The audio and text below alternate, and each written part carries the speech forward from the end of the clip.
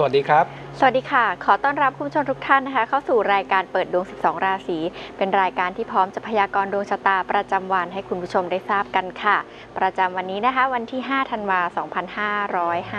2559 ค่ะ ครับ ทุกวันที่ 5 ธันวาคมนะครับของทุกปีก็ต้องถือว่าเป็นวันที่มีความสำคัญยิ่งสำหรับคนไทยทั้งประเทศครับ เนื่องจากเป็นวันคล้ายวันพระราชสมภพนะครับ ของพระบาทสมเด็จ พระปรมินทรมหาภูมิพล อดุลยเดชนะครับหรือว่าในหลวงรัชกาลที่ 9 นะครับ วันนี้ทางรายการมีความภูมิใจครับ ที่จะนำเสนอคลิปวิดีโอที่เกี่ยวข้องกับพระราชกรณียกิจที่สำคัญ ซึ่งพระองค์ท่านทำเพื่อพระสบนิกรชาวไทย ให้มีชีวิตความเป็นอยู่ที่ดีขึ้น พวกเราจะได้ร่วมกันน้อมรำลึกถึงพระมหากรุณาธิคุณของพระองค์ท่าน เชิญรับชมคลิปวิดีโอดังกล่าวได้เลยครับ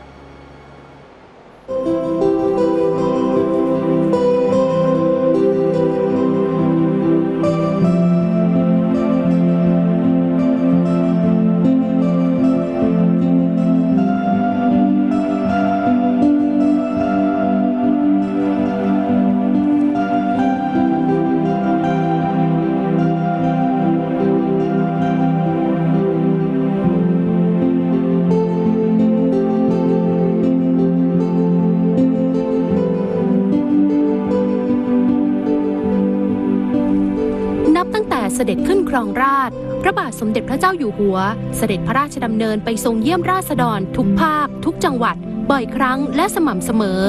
ด้วยทรงห่วงใยสภาพชีวิตความเป็นอยู่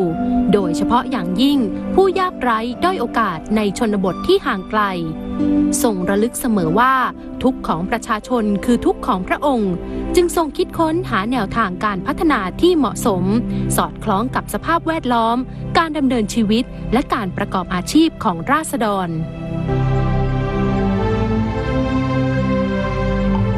พัฒนาในช่วงแรก ส่งเน้นด้านการแพทย์ การสาธารณสุข และสังคมสงเคราะห์ เนื่องจากในขณะนั้น การแพทย์และการสาธารณสุขของไทยยังไม่เจริญ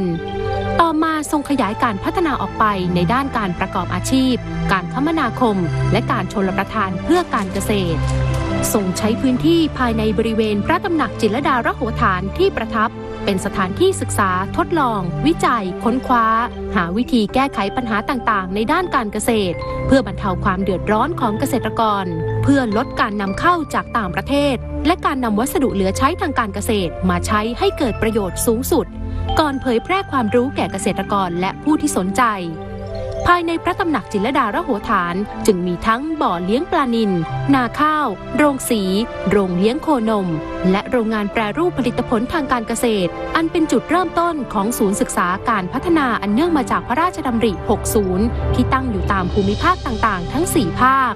เป็นศูนย์รวมการศึกษาค้นคว้า ทดลอง วิจัย แสวงหาแนวทาง และวิธีการพัฒนาด้านต่างๆ ที่เหมาะสมสอดคล้องกับสภาพแวดล้อม การประกอบอาชีพของราษฎรที่อาศัยในภูมิประเทศนั้นๆ ในลักษณะสหวิทยา ให้บริการแบบเบ็ดเสร็จที่จุดเดียว เมื่อทดลองแล้วว่าได้ผลจึงนำไปถ่ายทอดแก่ราษฎร เพื่อพัฒนาพื้นที่ใกล้เคียง ก่อนเผยแพร่ขยายวงกว้างออกไปเรื่อยๆ เพื่อให้การพัฒนานั้นอำนวยประโยชน์สูงสุดแก่ราษฎร โดยทำหน้าที่เสมือนพิพิธภัณฑ์ธรรมชาติที่มีชีวิต และเป็นที่มาของโครงการอันเนื่องมาจากพระราชดำริ ที่พัฒนาแหล่งน้ำ การเกษตร สิ่งแวดล้อม สาธารณสุข การคมนาคมและการสื่อสาร สวัสดิการสังคมและการศึกษา การส่งเสริมอาชีพ และโครงการพัฒนาแบบบูรณาการอื่น ๆ รวม 4,447 โครงการในปัจจุบัน และเมื่อทรงเห็นว่าแนวทางการพัฒนาที่เน้นการขยายตัวทางเศรษฐกิจของประเทศแต่เพียงอย่างเดียว อาจก่อให้เกิดปัญหาในอนาคต จึงได้พระราชทานแนวพระราชดำริ เศรษฐกิจพอเพียง ให้ประชาชนนำไปปฏิบัติ ทรงเน้นการพัฒนาที่ช่วยให้ประชาชนในชนบทส่วนใหญ่ พอมีพอกินก่อน เมื่อมีพื้นฐานความมั่นคงพร้อมพอสมควรแล้ว จึงค่อยเน้นการขยายตัวของภาคอุตสาหกรรม เพื่อความเจริญก้าวหน้าของประเทศต่อไปอันเป็นการและเพื่อแก้ปัญหาการขาดแคลนที่ดินทำกิน และการขาดแคลนน้ำในการทำนาได้ทรงคิดค้นแนวทางแก้ไข และพระราชทานทฤษฎีใหม่ มาจัดการทรัพยากรอย่างเหมาะสม ทั้งการใช้ประโยชน์ในที่ดิน การสสร้างแหล่งน้ำทำการเกษตรแบบผสมผสานในพื้นที่ไร่นาที่ทำกิน เพื่อให้เกษตรกรสามารถเลี้ยงตัวเองได้ มีอาหารบริโภคตลอดปี และมีรายได้เพียงพอใช้จ่าย มีพระราชดำรัสว่า เศรษฐกิจพอเพียงและทฤษฎีใหม่สองอย่างนี้ จะทำความเจริญแก่ประเทศได้ แต่ต้องมีความเพียรแล้วต้องอดทน ต้องไม่ใจร้อน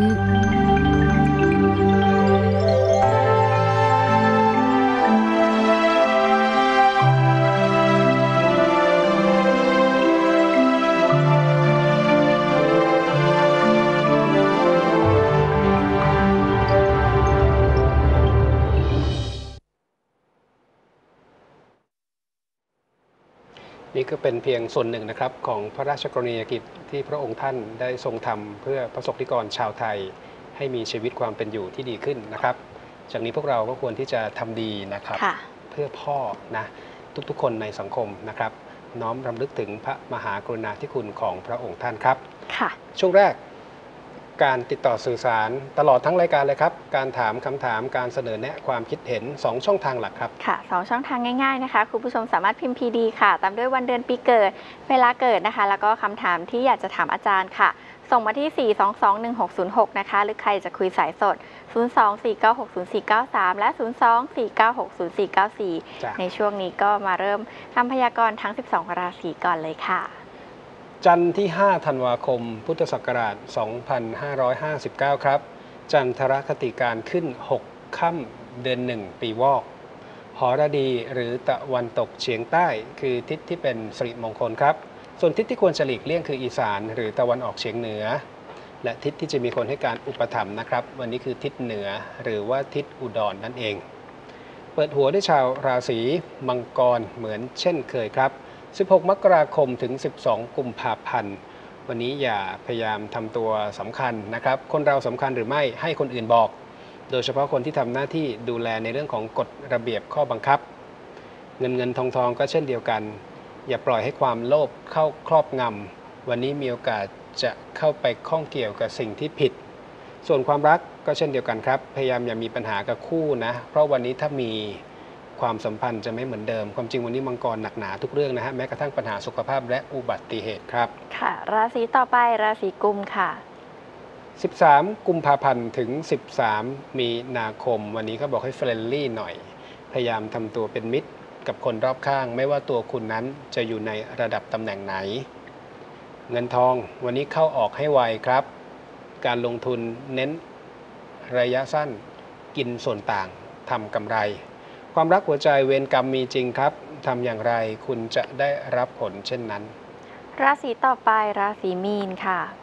14 มีนาคมถึง 12 เมษายนนะครับ วันนี้มีโอกาสได้รับข่าวดีในเรื่องที่เกี่ยวข้อง โดยเฉพาะจากการพบปะผู้คน แม้กระทั่งการเข้าสังคม ฉะนั้นวันนี้ในเรื่องของเสื้อผ้าหน้าผม บุคลิกภาพการแต่งกาย การละเทศะสำคัญครับ แต่เงินทองไม่เด่นเหมือนเรื่องของงาน มีเกณฑ์เสียทรัพย์ โดยเฉพาะคนที่มีบุตรหลานบริวาร ความรักเน้นคนที่คิดอยากจะมีคู่ครับ วันนี้เหมาะสำหรับการสร้างความประทับใจ โดยเฉพาะคนที่มี first date ครั้งแรกในวันนี้ ราศีต่อไปราศีเมษค่ะ 13 เมษายนถึง 13 พฤษภาคม การทำงานวันนี้มีโอกาสใกล้ชิดกับผู้หลักผู้ใหญ่นะครับ ฉะนั้นการวางตัวที่เหมาะสม อย่าก้าวร้าว ทำตัวให้น่ารัก รู้จักการละเทศะ แล้วคุณจะได้ลาภผล การเงินอย่าคิดหลายชั้นครับ โดยเฉพาะในเรื่องของการลงทุนอะไรที่ดีอยู่แล้ว ไม่จำเป็นจะต้องไปเปลี่ยนแปลง หัวใจไม่เด่นระวังความพลิกผัน หรือมีเหตุที่ไม่ได้คาดคิด และที่สำคัญวันนี้เมษเองก็ต้องระวังในเรื่องของอุบัติเหตุด้วยครับ ราศีต่อไปราศีพฤษภค่ะ 14 พฤษภาคมถึง 13 มิถุนายน ในการทำงานวันนี้ไม่ว่าจะเป็นการคิดวางแผน หรือแม้กระทั่งในเรื่องของการตัดสินใจ จงให้ความสำคัญกับความยั่งยืน ในเรื่องของหลักฐานความมั่นคง อย่าไปคำนึงหรือว่าห่วง กังวลแต่เรื่องของสิทธิประโยชน์หรือผลตอบแทนแต่เพียงอย่างเดียว เงินเงินทองทองก็อย่าเอาเปรียบใครนะครับ ต้องดูที่มาของรายได้ อย่าทำให้ใครต้องเดือดร้อนความรักอย่าได้คาดหวังอะไร ไม่ว่ามีคู่แล้วหรือคิดอยากจะมีคู่พูดอยู่เสมอครับ คนเรานั้นไม่เหมือนกัน ราศีต่อไปราศีเมถุนค่ะ 14 มิถุนายนถึง 14 กรกฎาคม การทำงานวันนี้ภาพรวมอยู่ในเกณฑ์ที่น่าพอใจนะครับ ไม่ว่าทำธุรกิจหรือทำงานประจำโดยเฉพาะคนที่กำลังรอลุ้นรอฟังผล สภาพคล่องการเงินก็ต้องบอกว่าเด่น โดยเฉพาะคนที่มีทักษะความชำนาญเฉพาะทางเก่งเฉพาะเรื่อง สุดท้ายหัวใจระวังเรื่องของคำพูดนะครับ อย่าสื่อสารอะไรที่ตรงจนเกินไป ราศีต่อไปราศีกรกฎค่ะ 15 กรกฎาคมถึง 16 สิงหาคมการทำงานเป็นทีมวันนี้เขาบอกว่ามีปัญหามากกว่าที่คิด ติดขัดล่าช้านะครับ และที่สำคัญมีโอกาสที่จะขัดแย้งกันเอง ฉะนั้นวันนี้ถ้าทำอะไรเองได้ทำนะครับ การลงทุนวันนี้ต้องเร็วต้องไวนะครับ วันนี้การหาข้อมูลสำคัญมาก ความรักอย่าจริงจัง โดยเฉพาะคนโสด ถึงมีเข้ามาแต่มีแต่ความฉาบฉวย ราศีต่อไปราศีสิงค์ค่ะ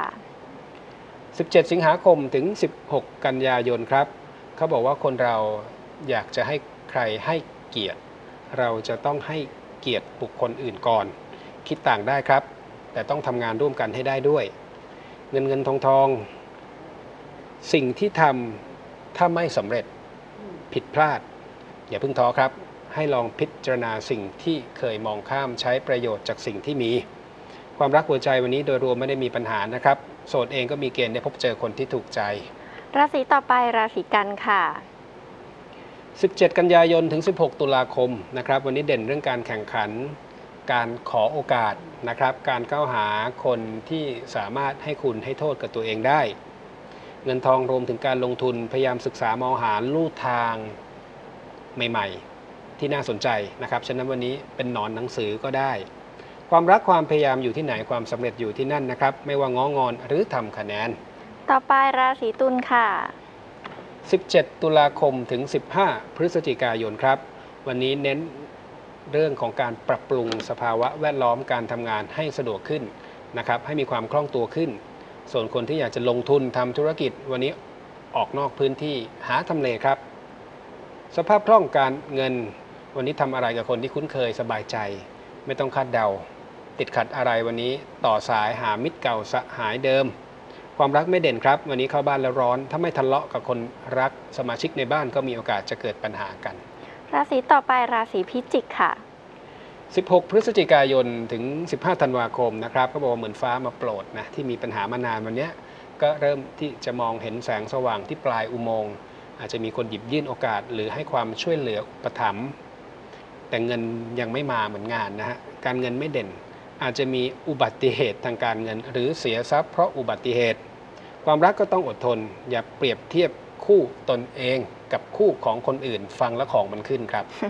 ราศีสุดท้ายค่ะ ราศีธนู พิจิกระวังอุบัติเหตุด้วยนะจ๊ะธนู 16 ธันวาคม ถึง 15 มกราคมครับ วันนี้งานกับกับเงินผมผมผมถือว่าดีนะครับอ่า บรรลุเป้าหมาย หรือแม้กระทั่งการคิดอยากจะเริ่มต้นสิ่งใหม่ ๆ วันนี้พอจะตั้งไข่ได้นะครับ เงินก็ล้อกับเรื่องของงาน มีเกณฑ์ได้ลาบผลจากการลงมือทำหรือจากครอบครัว สุดท้ายความรักหัวใจ วันนี้อาจจะต้องอดทนหน่อย มีเกณฑ์จะต้องทำหรือตกอยู่ในสถานการณ์ที่ไม่พึงปรารถนา ส่วนคนโสดครับ วันนี้ถึงมีโอกาสแต่ก็ไม่ถูกใจ ค่ะ ครบถ้วนทั้ง 12 ราศีนะคะเอาค่ะช่วงหน้า ใครอยากจะให้อาจารย์พรพอตรวจสอบดวงชะตาให้นะคะ ไม่ว่าจะเป็นข้อความทาง SMS หรือว่าคุยสายสดนะคะ ช่องทางง่ายๆเลยค่ะ พิมพ์ PD ค่ะตามด้วยวันเดือนปีเกิดเวลาเกิดนะคะคำถามที่อยากจะถาม ถ้าอยากจะทราบลัคนาราศีเนี่ยช่วยใส่จังหวัดมาด้วยนะคะ ส่งมาที่ 4221606 ค่ะคุยสายสด 024960493 และ 024960494 ช่วงนี้พักสักครู่ค่ะ ครับ